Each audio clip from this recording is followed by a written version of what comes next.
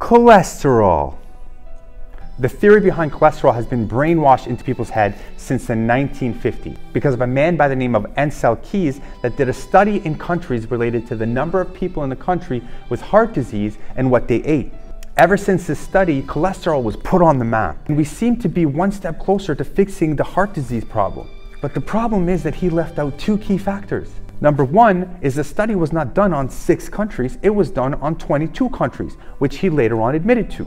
He also left out the countries that ate low fat and had a high heart disease rate, like Norway and Holland. He also left out the country that ate high fats and had low heart disease, like Chile. This alone, for the average person with common sense, should have been sufficient. So a claim was done that cholesterol caused heart disease by a study that later on was proven to be false. But because we are so used to inheriting information as facts and not looking into it, it went viral. Nobody till today is really looking into the actual study.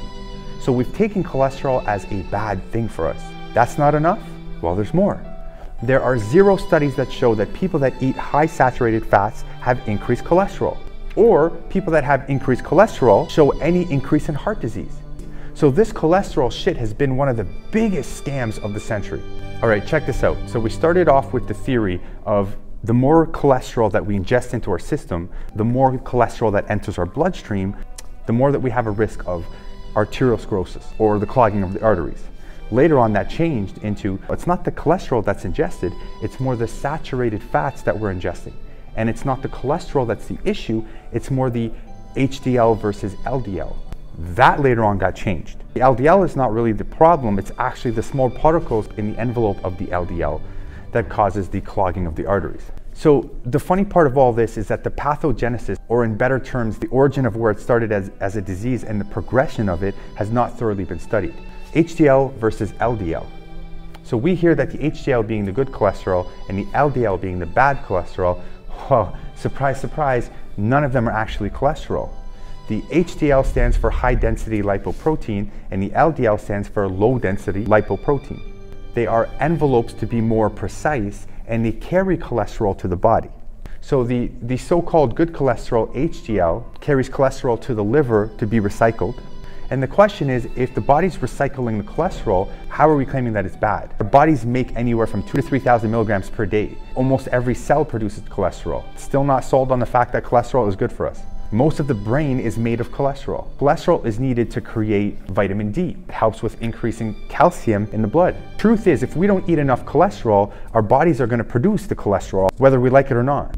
The real issue here is not the cholesterol. The real issue is the scarring of the arteries, the spinning of milk to, high, to have a higher shelf life. Do you remember back in the day when we had milkmen come to our house?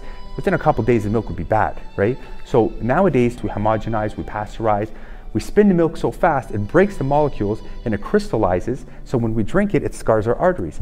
Also, all this garbage food, sugar, one of our sugar is one of the main problems that scars arteries. So when you're eating junk food and then you come back and say, well, it's the cholesterol, the natural response of the body, the cholesterol that sticks to heal the arteries get narrow. Well, I get it. It's the body is just trying to heal. It's not the cholesterol that's bad it's the scarring of the arteries. So this is the problem with the industry. We are not actually going and looking at the underlying cause of the problem. What we're doing is we're prescribing medicine and we're just dishing it out. That's all it is. We're, we're, we're trying to, the FDA says it themselves. They don't have a cure for diseases. What they do is they treat symptoms. So if you're treating symptoms, it's no different than you driving your car the engine light comes on. And when the engine light comes on, you rip the dashboard and you you cut off the wire. So now the light's not there no more. Now that's what medicine is doing. So you're putting that back, you're putting the dashboard back in, and you're driving. So your Tylenols, your aspirins, your all these medication that you're taking, all it's doing is cutting off the wire. The underlying problem is not being fixed. Now I don't care what anybody has to say. This is factual. You're gonna have people in the medical field thinking, oh, whoa, whoa, whoa. Well, what? 200,000 people die from aspirin every year. These are facts. Instead of snipping that wire and putting, putting the dashboard back in, let's find out what the underlying problem is. If it's scarring of the arteries, then let's find out how we can avoid scarring of the arteries. Let's not try to manipulate our bodies to not produce cholesterol, we need cholesterol. Cholesterol is important for our body. So the LDL carries the cholesterol that our body needs naturally from the liver to the tissue. No different than insulin. When the insulin response happens, insulin delivers sugar and nutrients to our cells. It's the same idea. The LDL envelope has small particles in there that we claim which sticks to the arteries, which they do, very small particles. But the envelope, the whole LDL envelope, has a function the function is it actually helps our body. We need it.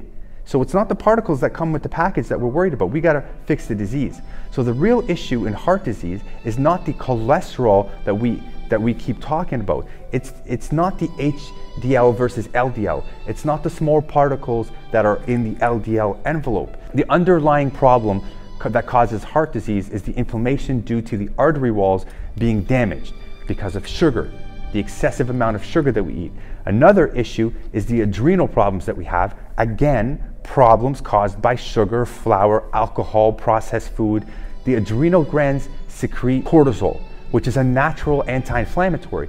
But if we don't have those functioning properly, we don't have anti-inflammatories in our body. Everyone on a low carb, high fat diet gets the majority of their cellular energy from triglycerides or LDL and it brings those triglycerides to the cell, typically in a form of long chain fatty acids. Yes, we do derive our energy from ketones a lot more than a person that is carb centric or that eats a lot of carbs. But a lot of these ketones are feeding the brain because um, they can cross the, the brain barrier a lot faster or a lot easier.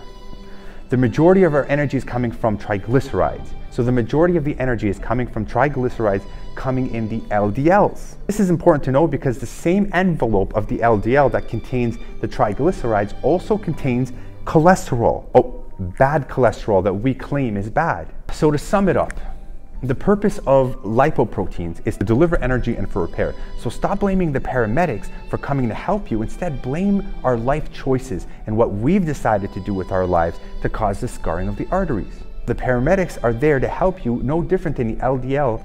The LDL is your natural healing paramedic. We can trust our doctors, no disrespect. We can trust everybody in the system. But again, the studies are there. Our bodies are here. Merge them together.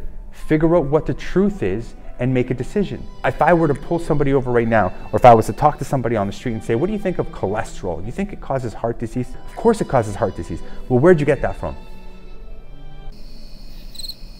I don't know, I heard it from somebody. Okay, so this is the problem. We don't want to hear from people, we want facts. And our ignorance is what is bringing us down. And this happens with everything. So the minute you start questioning, the minute you start, you find yourself starting to, to talk and fight the fact that, oh my God, yeah, cholesterol is bad for us, or yeah, it is good for us, back it up with facts anything that comes out of your mouth, make sure that you have some kind of legitimacy behind it so it actually makes sense. Eat your cholesterol. Eat cholesterol. Cholesterol is not bad for you. It's cholesterol is being produced in our body. If you don't eat it, our bodies are going to make it. So eat your cholesterol. Just stop the scarring of the arteries.